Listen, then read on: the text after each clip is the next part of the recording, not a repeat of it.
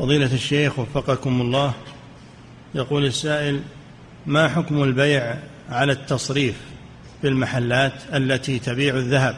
وصورته أن يقول المورد أو صاحب المصنع يقول لصاحب المحل خذ هذا الطقم من الذهب واعرضه في محلك فإذا بعته فأعطني قيمته وما زاد عن القيمة المحددة فهي لك.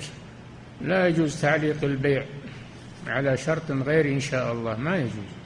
البيع لابد يكون منجز ما يكون معلق. نعم. إعداد مشروع كبار العلماء بالكويت أعزها الله بالتوحيد والسنة.